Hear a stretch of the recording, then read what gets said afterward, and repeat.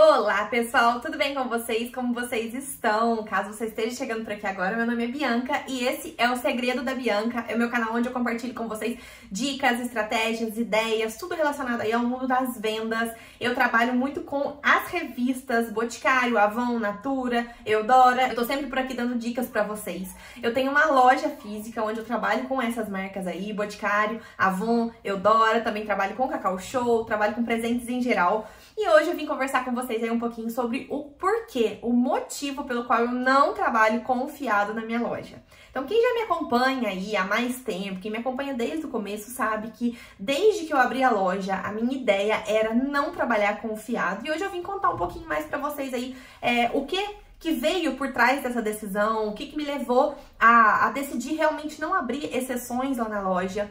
E eu já tenho experiência com o comércio desde antes. Eu venho de família de comerciante, então eu cresci com a minha avó tendo loja, com o meu avô tendo loja. Então, assim, a gente já tem um pouco de noção na questão de venda, na questão de comércio.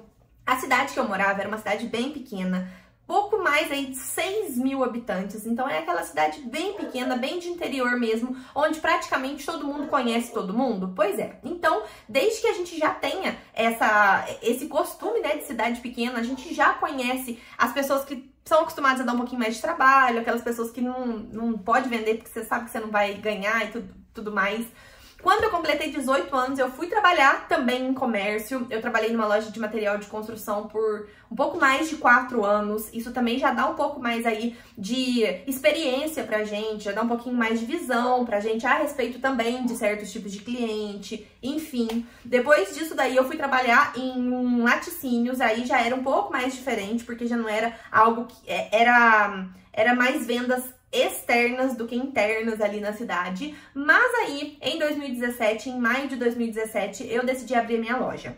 Antes mesmo de abrir a loja, eu já trabalhava com vendas, eu já trabalho com vendas aí há muitos anos, já trabalhava ali firme desde os meus 15 anos, então quando eu abri a loja eu tinha 22, se não me engano, então já eram 7 anos que eu já trabalhava com vendas, eu já tinha as minhas clientes. Nessa época eu trabalhava principalmente com Avon. Avon, geralmente, eu sempre fiz o seguinte com as minhas clientes. Eu pegava a revista, eu mostrava a revista para os clientes. Eu não tinha costume de ter pronta entrega.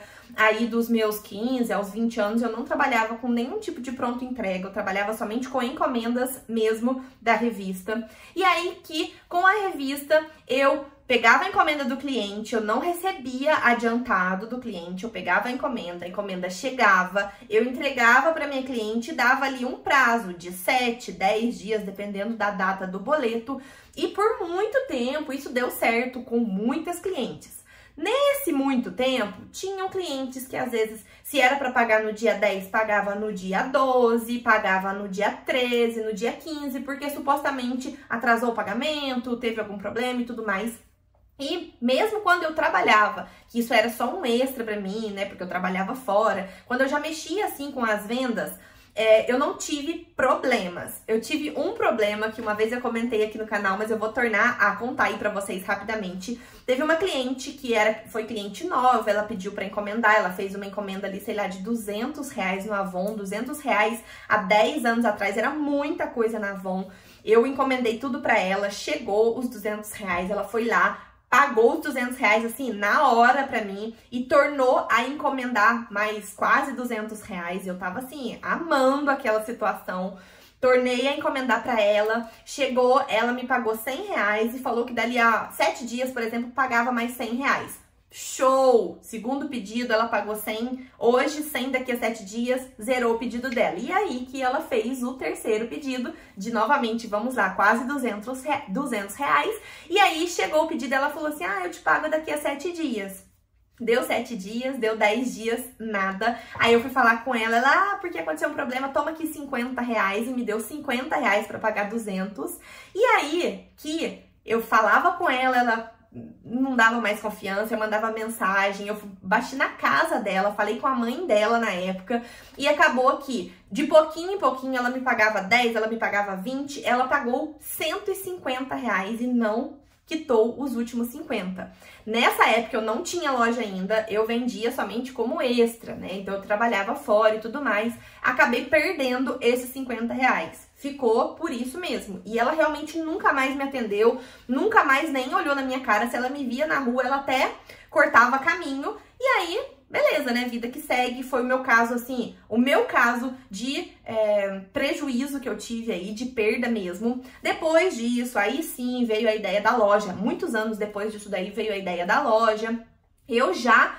Logo no começo eu estava me planejando ali, fui conversar com uma outra dona de loja lá na minha cidade. Ela foi assim, ela foi uma peça-chave importantíssima na minha vida. Eu conversei com ela, ela, né, uma loja praticamente igual a que eu ia abrir, e eu perguntei para ela o que, que ela achava, se seria uma boa ideia, e ela foi super atenciosa. Ela falou para mim que podia sim, que ia dar certo. Só que ela me deu a mesma dica. Ela falou assim: "Olha, só muito cuidado com o fiado, porque eu aqui eu tenho tantos mil de fiado perdido, aí fulano, ciclano, porque cidade pequena, né? É, é fácil conhecer todo mundo. Então ela falou: "Olha, não vende para fulana, não vende para ciclana, outra fulana que me deu calote, a outra fulana tal também. Então ela me falou de algumas pessoas assim, que eu para eu ficar um pouco mais esperta, e eu falei, olha, realmente, eu não tinha muito dinheiro para abrir minha loja. Se você quiser ver como que foi a evolução aí, é só voltar nos vídeos aqui do canal. Eu tenho uma playlist que tá escrito minha loja.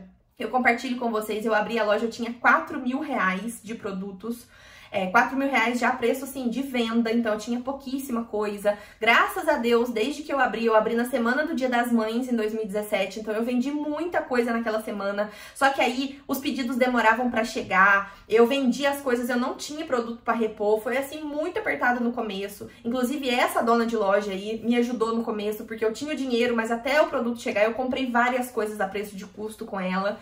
E aí que eu falei, gente, eu acho que eu vou fazer o teste aí de vender é, somente o à vista.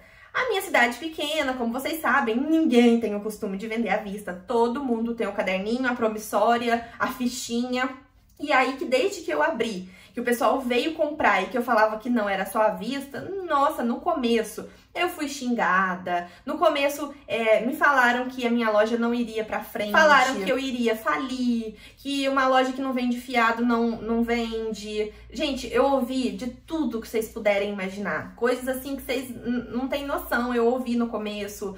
Pessoas que às vezes chegavam na loja, ah, eu quero isso, eu quero aquilo, experimentava perfume, experimentava hidratante, falava assim, ah, quanto que deu? Ah, deu 300 reais. Ah, tá, anota aí pra mim que dia 10 eu venho. E eu falava assim, não, mas eu não vendo fiado, é só à vista. Ah, mas então não vou querer não. Então assim, eu perdi tempo ali mostrando, demonstrando produto para as pessoas e a pessoa falava, ah, então não. Gente, nossa, foi assim, N coisas. No começo foi muito difícil, né? Foi muito, muito, muito difícil mesmo. Só que graças a Deus, por mais que tenha sido difícil, teve as pessoas que vinham, que compravam, às vezes até queria comprar mais, só que aí quando eu falava que era à vista, desistia de um ou outro produto porque ia apertar, mas levava um perfume, levava um hidratante, levava um sabonete, levava alguma coisa. E eu realmente, desde o começo, eu decidi, eu falei, gente, eu não posso abrir exceções, por quê? Porque você abre a sessão para uma pessoa, ah, olha, fulana, você é minha amiga, eu vou abrir essa sessão para você, você paga para mim mês que vem. Sem querer, ela comenta com uma pessoa que, ah, eu fui lá na Bianca, mas ela deixou pagar mês que vem. Aí essa segunda pessoa vem e fala, ah, Bianca, posso pagar mês que vem? Ai, não pode. Mas então, por que que para fulana você deixou e para mim não pode? Gente, isso dá problema, isso dá BO, enfim. Então a minha ideia desde o começo foi sempre falar não, foi muito difícil, é eu tô falando pra vocês. Vocês não têm noção de coisas que eu escutei. Vocês não têm noção de quantas vezes clientes desistiram da compra lá na hora, assim, com tudo pronto, com presente montado e ah, não, então eu não vou querer mais. Foi muito difícil, mas a minha loja está indo aí para seis anos, então em maio agora ela já completa seis anos. Graças a Deus, hoje eu tenho a oportunidade de ter uma funcionária, então eu pago um salário para uma funcionária, eu pago o aluguel da loja, eu pago internet, eu pago luz, tudo isso sendo que nem eu mesma não estou mais trabalhando lá, mesmo assim a gente ainda consegue fazer as nossas compras, a gente consegue fazer os investimentos, tudo isso, graças a Deus, foi assim, é, foi um trabalho construído devagarzinho, foi tijolinho por tijolinho aí, mas a loja se solidificou. Então, assim, você que às vezes já trabalha com alguma coisa, já tem o costume do fiado, tem muita gente que fala assim, ah, eu tenho fiado bom. O fiado bom, ele tem somente um problema. Todo mundo tem problemas na vida, né? Eu tenho, você tem. Então tem aquele momento que às vezes eu tenho 200 reais que eu quero gastar, só que por acaso acaba o gás da cozinha, alguém fica doente, é, você quebra um vidro, você quebra algum produto, você, sei lá, quando vê aqueles 200 reais, foi embora, né? E aí você vai usar o dinheiro numa coisa que é mais importante, digamos assim. Então, mesmo o fiado bom, ele tem os momentos que pode te atrasar, e aí você tá contando com aquele valor para pagar um boleto, enfim. Eu acho que assim, o fiado, mesmo tendo fiado bom, eu acho que o fiado não é algo saudável no negócio. E eu posso falar isso para vocês com propriedade, em que é, a minha avó, que tem loja até hoje, então sei lá, já faz o que, 30 anos ou mais que ela tem loja, ela tem loja até hoje e ela ainda sofre com o fiado, porque já veio desde aquela época, de muito tempo atrás. Ela tem muito fiado perdido. Eu sei de lojas, né, próximas de mim que sofrem com isso, que tem muito dinheiro perdido, e eu posso dizer para vocês que eu não tenho dinheiro perdido. Se eu não vendo, o produto é meu. De qualquer forma, agora eu vender, o produto ser de outra pessoa e eu não receber por aquilo, eu acho muito triste.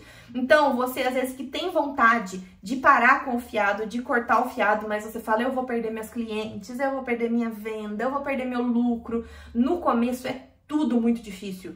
No começo você vai perder venda, no começo você vai perder cliente, vai ter cliente que vai te desaforar, vai ter cliente que vai te desacatar, vai falar o que não deve para você, mas fazer o que, né? Isso daí é uma escolha, caso você escolha parar de trabalhar confiado, parar de sofrer se vai ter dinheiro ou não para pagar o boleto, se sua cliente vai pagar você ou não no dia, se ela vai pagar tudo ou vai pagar metade só é uma escolha que você vai fazer. Vai ter suas consequências, mas depois vai ter os benefícios também, né? Então, eu decidi desde o começo e eu não arrependo. É o que eu falei para vocês, já perdi muita venda sim no começo, mas hoje em dia isso já não é algo mais que acontece. Hoje em dia já tá todo mundo acostumado com essa situação. Então, hoje em dia é muito raro, muito raro algum cliente que entra lá e que pede fiado, muito raramente porque basicamente todo mundo já conhece, todo mundo já sabe que facilito no cartão de crédito, eu reservo o produto, se a cliente não tem o dinheiro hoje, só vai ter daqui a 20 dias, eu deixo o produto reservadinho para cliente, guardadinho, sem problema, mas somente à vista, à vista no cartão, no Pix, enfim. Né? Então, se você tá sofrendo aí com alguma coisa, eu te desejo, olha, força, muita força mesmo, porque é complicado, mas é, não é impossível. Se fosse impossível, eu não teria minha loja. Tantas outras pessoas não teriam lojas, comércios, indústrias, supermercados, enfim, tá? Então força aí para você e me conta um pouquinho da sua história, de como que é aí no seu negócio. Deixa seu comentário aí, porque o seu comentário ajuda outras pessoas. Um super beijo, fiquem com Deus e até o próximo vídeo. Tchau!